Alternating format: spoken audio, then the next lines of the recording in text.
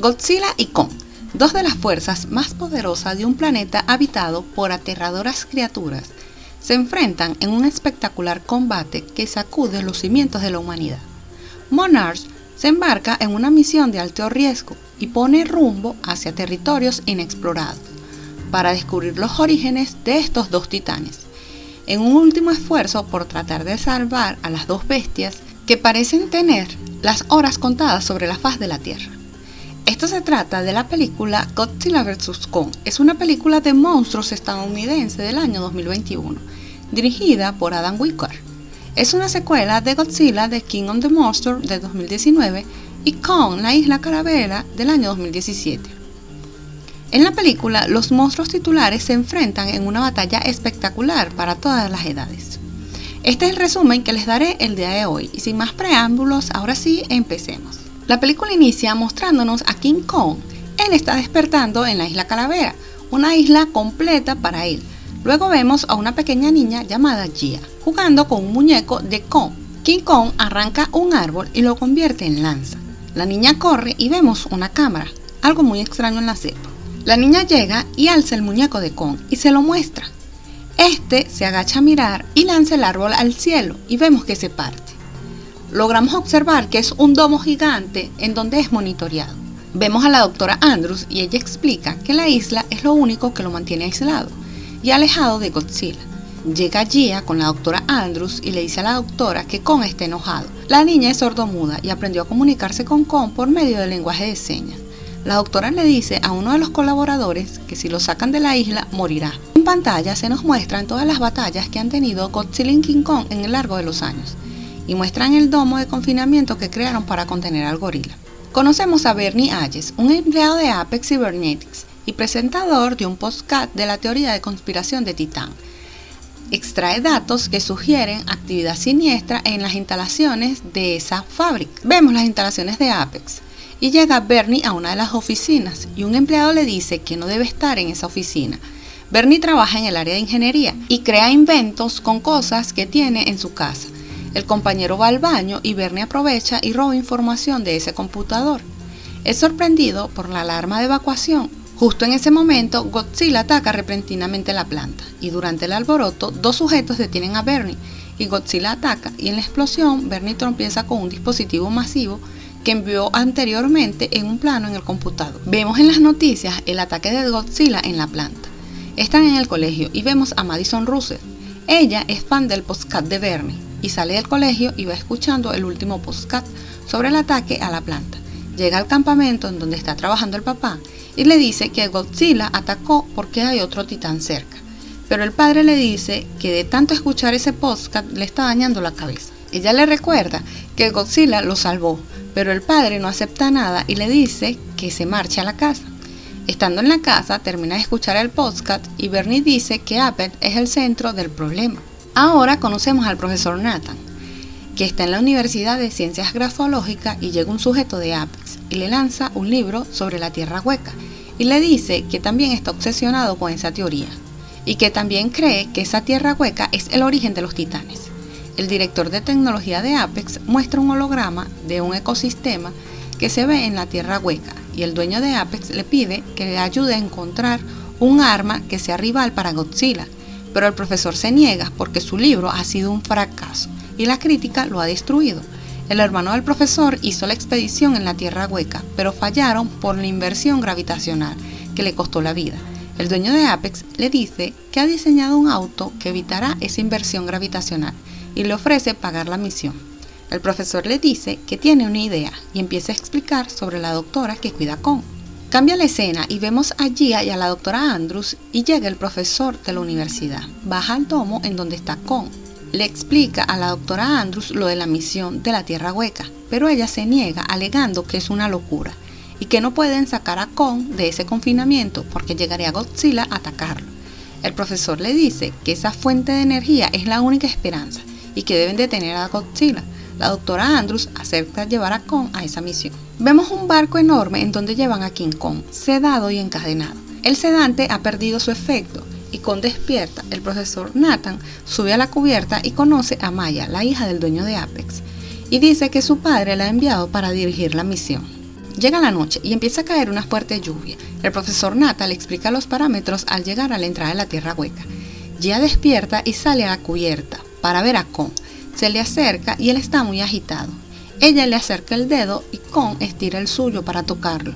Llega la doctora Andrews y la toma y le pide entrar que no es seguro en ese lugar. La niña le dice que Con está triste y está muy enojado. La doctora le responde que es porque él no entiende, que ellos solo quieren ayudarlo. Gia le responde que él no cree eso. La doctora le pregunta cómo sabe.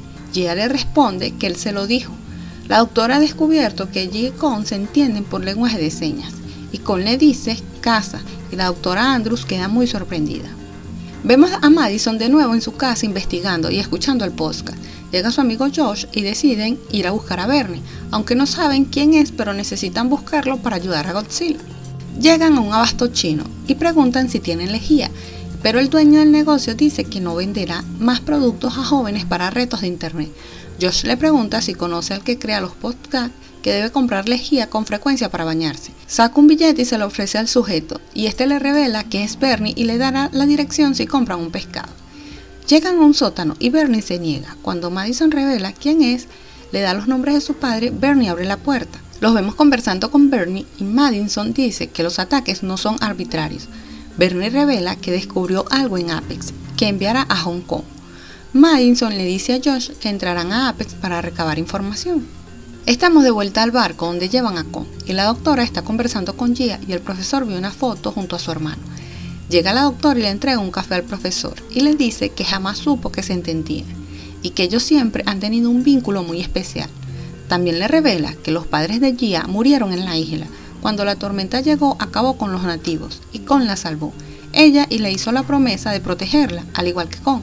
El profesor le pregunta si él seguiría las instrucciones de Gia, pero la doctora se niega. Vemos a Gia correr desde su camarote porque siente algo malo. Al encontrar a la doctora le dice que está llegando Godzilla. Vemos a Kon tratando de soltarse de las cadenas. Llega Godzilla y los barcos empiezan a lanzar misiles. Empieza la primera batalla de estos dos titanes. La doctora le dice al profesor que deben liberar a Kon, pero este le dice que si lo suelta acaba la misión. Pero la doctora alega que es para que pueda protegerse y protegerlos a ellos. Godzilla ataca al barco y lo hunde y el profesor libera a Kong. Al salir del agua, coloca el barco en posición para que siga en flote. Kong y Godzilla se enfrentan en alta mar. Kong le da el primer golpe y lanza a Godzilla al mar, pero este lanza su rayo nuclear por la boca y tira a Kong al agua. Están peleando bajo el agua y Godzilla lo tiene atrapado y ahogándose. La doctora le dice que necesita ayuda y lanzan cargas de profundidad y al impactar, Kong logra liberarse. Cuando sube, el profesor da la orden de apagar todos los motores para hacerle creer a Godzilla que ganó y que puede huir. Vemos llegar a Madison y Josh y se cuelan en las bases de Apex destrozada, cuando Bernie los lleva al hueco donde descubrió la cosa extraña, pero ya no había nada. Entran en un ascensor y descubren una instalación secreta subterránea. Cuando descubren que alguien viene, entran en una cápsula y descubren que hay unos trepacráneos y sin darse cuenta, son encerrados en un transporte subterráneo de monorriel a una de las instalaciones de Apex en Hong Kong. Para evitar alertar a Godzilla, Kong es transportado en avión a la entrada de la Tierra Hueca. Llegan a la Antártida y Gia lo convence de ingresar al túnel, mientras el equipo lo sigue en los HIF. Dentro de la Tierra Hueca, Hong y el equipo encuentran un ecosistema similar al de la isla Calavera. Cuando logran estabilizar los HIF y Kong está en tierra, son atacados por unas cosas extrañas. Kong los mata y se toma la sangre verde. Muchos de los animales son mutados, lagartos gigantes, cangrejos gigantes, y llegan a la fuente de poder. En otra parte de la película, el monorriel donde van Madison y los otros chicos se detienen y ellos salen. Se encuentran en un laboratorio y sin saberlo se topan con una prueba de mecadoxila. Está controlado telepáticamente por Ren Sherizawa, el hijo del difunto Ishiro Sherizawa, a través de las redes neuronales de una cabeza cortada de Jitoraka pero se ve obstaculizado por las limitaciones de su fuente de alimentación. Walter tiene la intención de aprovechar la energía de Tierra Hueca para superar las limitaciones de Mechadoxila.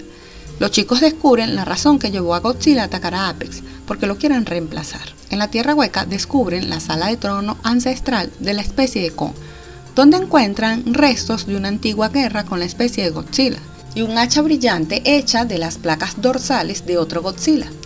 En las instalaciones de Apex en Hong Kong, los chicos descubren los restos de un titán y llega Godzilla a Hong Kong y empiezan a evacuar la ciudad. La fuente de energía se activa con el hacha y extrae radiación del núcleo. Cuando encuentran la fuente de energía, el equipo de Apex envía una muestra a su base de Hong Kong. A pesar de las protestas de la doctora Andrews, los soldados de Maya apuntan a Gia y a la doctora, pero Kong se enfurece. Maya y su equipo de Apex intentan escapar, pero son atacados por unos loros gigantes. Godzilla lanza un rayo y abre un hueco que llega directo a la fuente de energía. Kong toma el hit donde va Maya y lo aplasta. Madison, Josh y Bernie son capturados por seguridad y llevados con Walter.